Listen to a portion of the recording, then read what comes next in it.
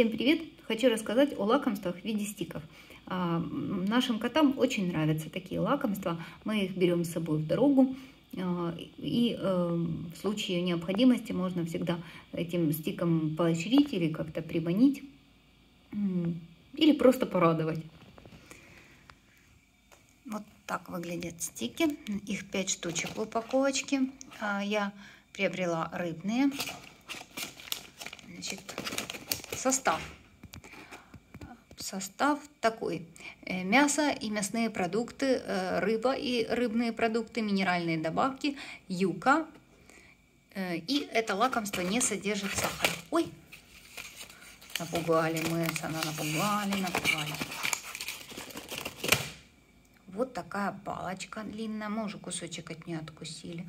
Вот она вызывает неподдельный интерес. А то вы можете ее делить. Она имеет деление, чтобы котику было удобно. Если вы хотите дать ее по частям, вот вы разламываете в местах изломов и угощаете вашего питомца. Спасибо вам за внимание.